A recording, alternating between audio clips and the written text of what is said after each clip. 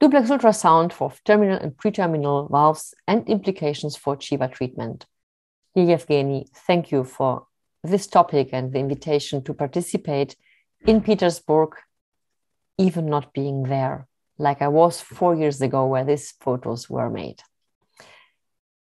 The most important per, uh, point to investigate is the saphenofemoral junction, uh, which is composed by the common femoral vein, um, the great saphenous vein, the groin tributaries, and the artery next.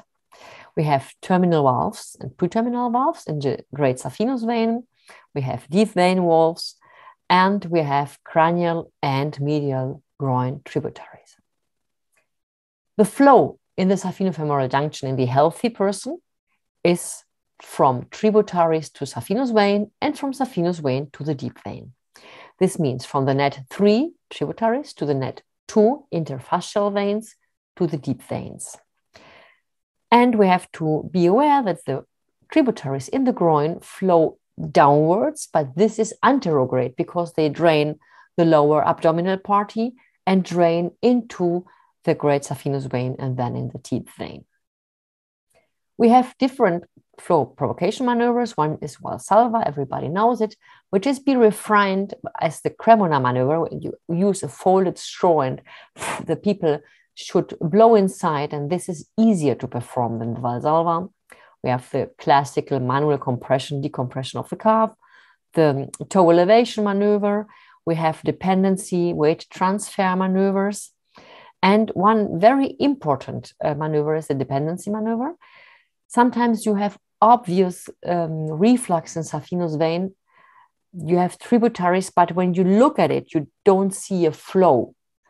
And in this case, you lay the person down 20 seconds with the leg up, and then you're invited to get up again, and you will have a long lasting filling flow. This is seldom, but sometimes it helps to sort out if there is really a reflux or not. This is the same vein standing position, manual compression, decompression after standing off 10 minutes.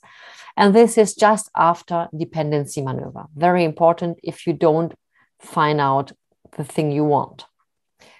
So now let's come back to the flow in the saphenofemoral junction where you can apply all of those provocation maneuvers and you should use at least two to be sure. If there is a reflux in the great saphenous vein, we have to find out exactly where it comes from. It can come from a tributary at the thigh, it can come through a perforator at the thigh, but if it comes from the groin, we have to differentiate. So it can be axial. This means it comes from the deep vein through the terminal and pre-terminal valve and go inside the great saphenous vein. This is called shunt type 1 or 3 in Chiva, and it is 60% of the patients that come to a surgical office to be treated like Solman investigated. Here you see the classical image in the systole. You push up the blood, you elevate the toes or you compress the calf. And in diastole, you have a clear reflux from the deep vein through the terminal valve into the superficial vein. If you make a cross section, you have to put the probe immediately in the ostial level. This is here. This is the systole, this is the diastole. If you put a ring around the deep vein, you will have just the position of the probe there to be sure that you're testing the terminal valve. So this is the axial reflux.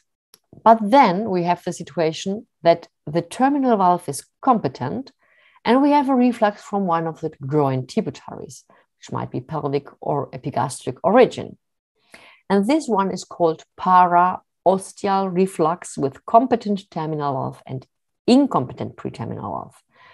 And this composes the shunt types four or five and happens in 20% of the patient, one of five patients coming to surgery, not with a little varicose, but to surgery, have this kind of option. So how do we see this? We have a systole where we see an anterograde flow. We have a diastole where we see a retrograde flow, but not from the deep vein, only from the tributary. Another image. This is the tributary, great saphenous vein, common femoral vein, systole with evident flow to the deep vein. diastole with a flow from the tributary, not from the deep vein.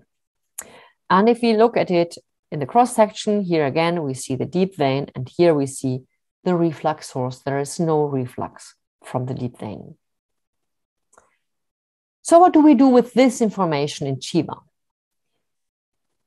In the shunt type 5, we have a competent terminal valve. We have a reflux from a groin tributary, refluxing in the great saphenous vein. We have no perforating vein draining the great saphenous vein. And we have a tributary draining the reflux to a perforator more distal. This is the shunt type 5. What happens if we just deconnect the tributary? This is called Chiva 2 because at least the terminal valve is sufficient. And if we disconnect this one, there is no escape point below. And then the reflux from the groin tributary will drain into the deep vein, and there will be no longer a recirculation in the great saphenous vein. And this result happens in 97% of the patients with this situation. This was published by Zamboni. So, if we have terminal valve competent reflux in great saphenous vein, we interrupt the tributary, we will have in 97% an anterograde healthy great saphenous vein. And this is one out of five patients scheduled for surgery, not those coming with little varicose veins where this is much more uh, often to be found. In this kind of situation, sometimes it won't work. The reflux will still be in the saphenous vein and drain through another vein, through another new perforating vein opening or new tributary. So, how can we imagine which one will work? It depends on the distance between the groin and the start of the tributary. If the tributary is at the thigh, the chance that it will work is higher. If the diameter of the great saphenous vein is little, the chance is also higher. The first intervention is always minimalistic. You have only a little cut, you have one only tributary um, dissection, what is a Chiva option if you have an axial reflux, which is most often? If you have shunt type 1 or 3, this one is 1 because you have a draining perforator on the great saphenous vein, you will have to interrupt the saphenofemoral junction.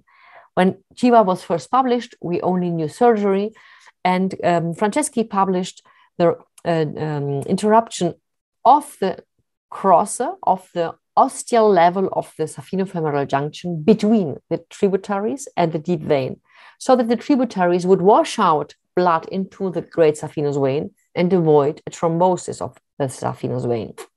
More modernly, you could make a short laser or short endoluminal closure of the great saphenous vein distal to the preterminal valve, allowing a drainage of the uh, tributaries of the groin to the deep vein if you have this finding, like in this case with a perforator and a new secondary tributary, you should also interrupt the tributary at the level of the saphenous vein. So this was very important because the differentiation between the terminal and preterminal valve functioning changes a lot in the treatment if you apply Chiva. If you have more interested information, you find one book uh, about duplex ultrasound and one book of saphenous vein sparing strategies. And um, this is a moment to thank you for the invitation, for the attention. And I hope that we will meet next year in Hanover, where I'm the president of the German Congress, which will be also international. Take care.